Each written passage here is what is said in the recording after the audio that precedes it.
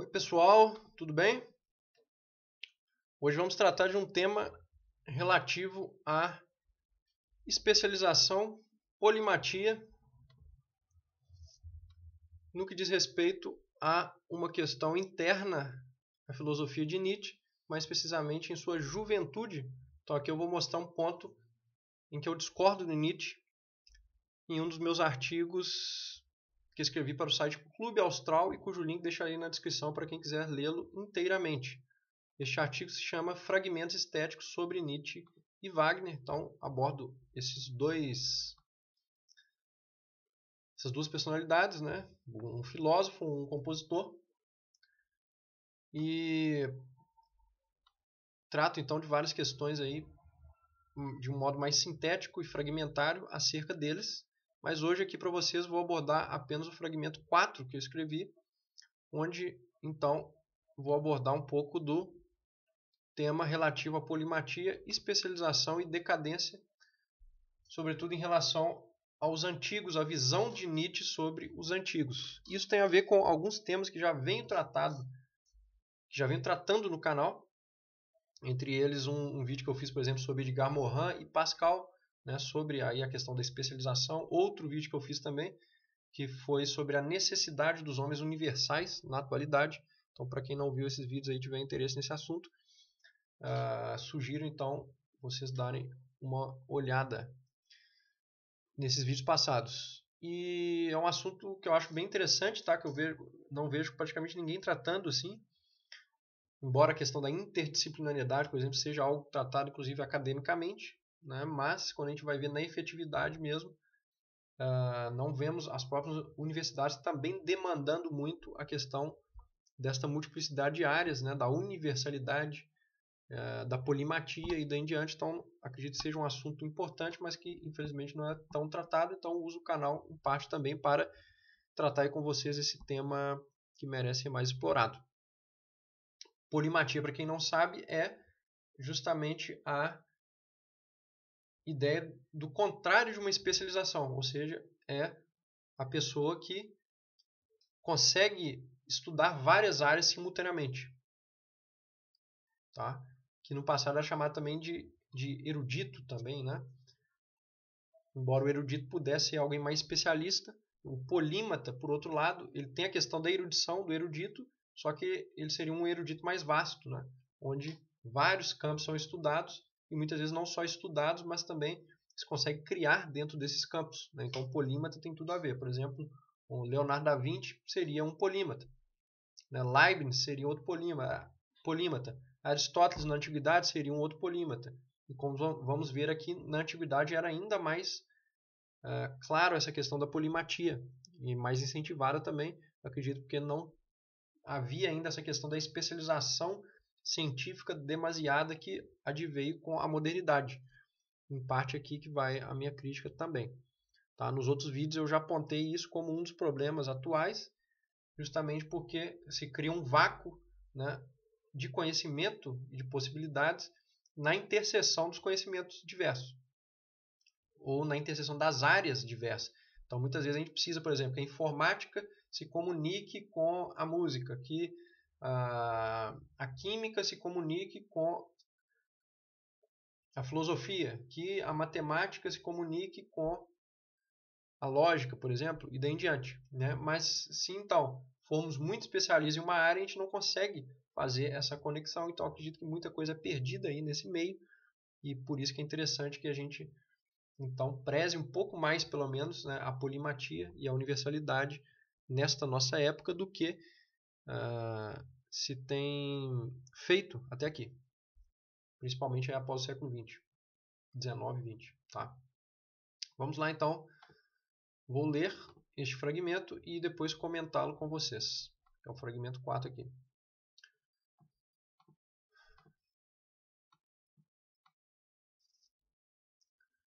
Penso o oposto de Nietzsche em sua conferência sobre o drama musical grego, que é um escrito de juventude do Nietzsche. Tá? No seguinte ponto: os gregos eram grandes precisamente em função de sua polimatia. Ou seja, o que o Nietzsche aborda nesse texto sobre o drama musical grego ali, num, um determinado trecho desse texto, tá? que na verdade é uma conferência que ele faz. É, justamente ele fala que havia o problema da polimatia nos gregos, né? e que isso, uh, digamos que afetava, né? de algum modo aí negativo, tá? o, a, os, os, próprios gregos. Então, que essa polimatia, em suma, seria um fator não necessariamente positivo. Tá? Então, aqui eu venho com a ideia contrária e vou falar que justamente os gregos eram grandes precisamente em função de sua polimatia. E por quê? Então, eu justifico. O que trouxe a decadência aos modernos e sua arte foi a especialização.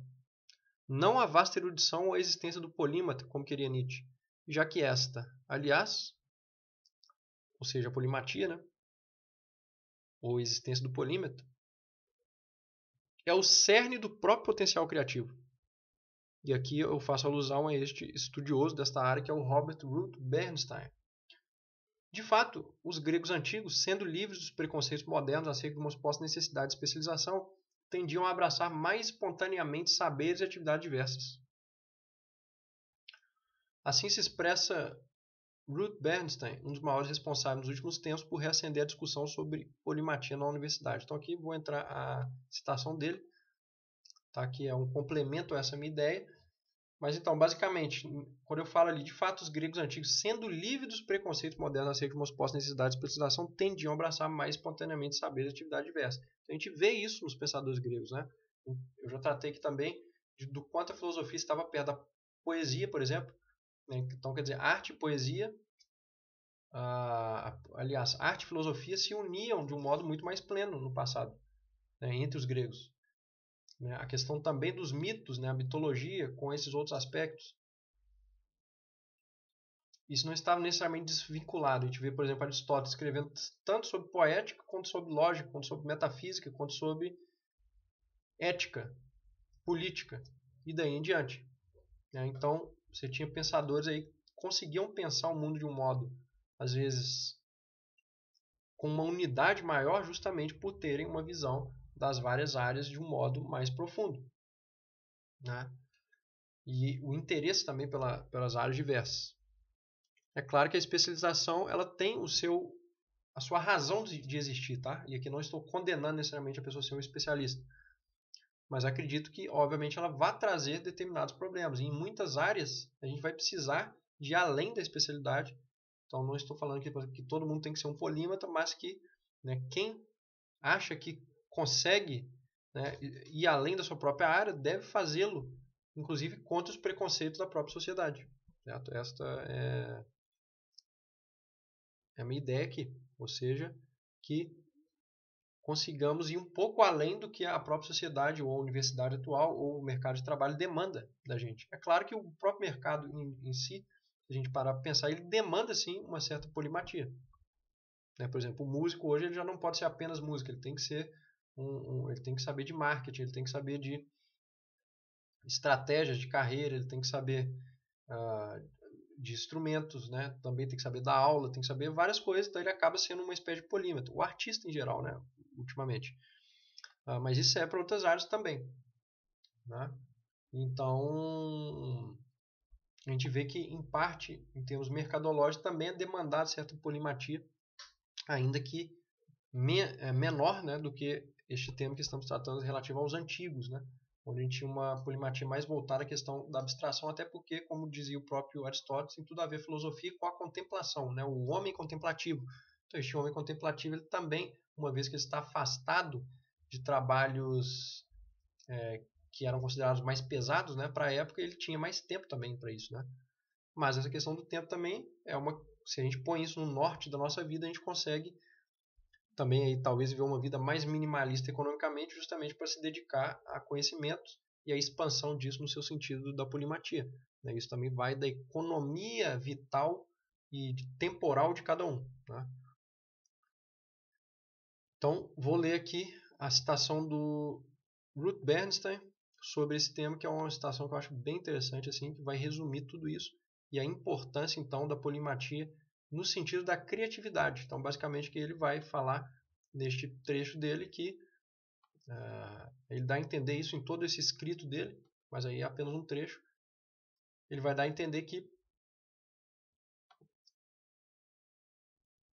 os homens mais criativos são justamente aqueles que conseguem unir mais áreas. Né? Que o, o estímulo à criatividade parte dessa multiplicidade. Então vamos ver aqui esta citação dele. Vou ler. Quem, diz, uh, quem discute a integração de ideias de diversos campos como a base da genialidade criativa não deveria perguntar quem é criativo, mas qual é a base do pensamento criativo. Ou qual é a base do pensamento criativo? Da perspectiva da polimatia, a genialidade criativa é a capacidade de combinar ideias díspares, ou até mesmo aparentemente contraditórias, conjunto de problemas, habilidades, talentos e conhecimentos de maneiras novas e úteis. A polimatia é, portanto, a principal fonte do potencial criativo de qualquer indivíduo.